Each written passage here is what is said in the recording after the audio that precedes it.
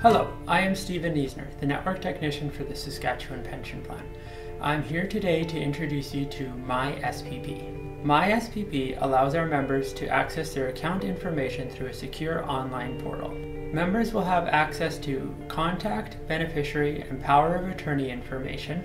In addition, the portal will show account balance details, pension payments, tax slips, and member statements.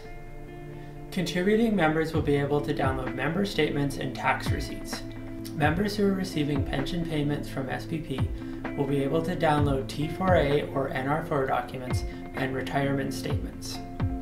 You can access MySPP on your mobile phone, tablet, or computer by visiting our website and clicking on MySPP Sign In in the top navigation. If you would like to sign up for MySPP, you will need your SPP account number, a valid email address, a strong password, your date of birth, and one of the following pieces of information.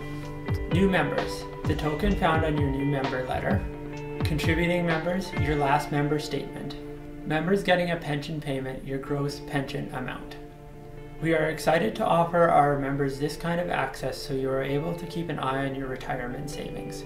If you have any questions or have trouble setting up your MySPP account, give us a call at the number on the screen or email us at info at saskpension.com. Thanks so much for watching.